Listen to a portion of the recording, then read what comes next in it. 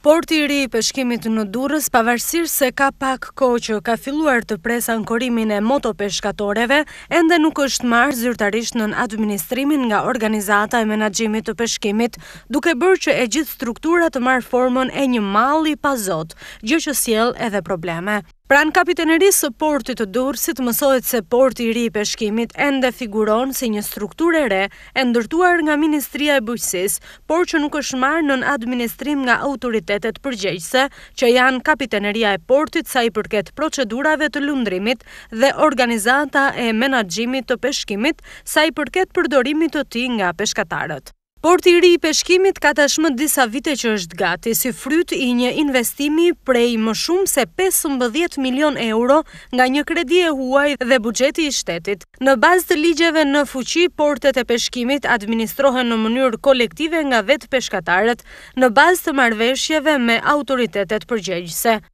Një gjë e tillë në Durrës ka munguar, aq sa porti i ri, pavarësisht se ishte destinuar për motopeshkatoret, për një kohë të gjatë është përdorur nga anijet e vogla turistike. Tani për qëllime të zgjerimit të aktiviteteve të terminalit të trageteve në port, motopeshkatoret gjithnjë e më tepër janë duke u vendosur tek porti i ri, Por mungesa e organizimit dhe e një institucioni përgjegjës bën që të mungojnë kontrollet e nevojshme dhe gjëja e parë që ndodh është ndotja e basenit.